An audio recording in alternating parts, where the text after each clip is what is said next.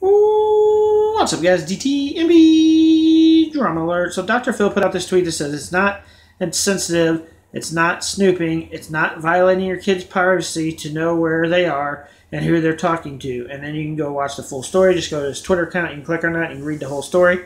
Um, and I agree 100% agree. You should always know where your kids are. If you don't know where your kids are, you're a very bad parent. You don't deserve to be a parent if you don't know where your kids are and you probably ought to not have kids if you don't want to know where they're at.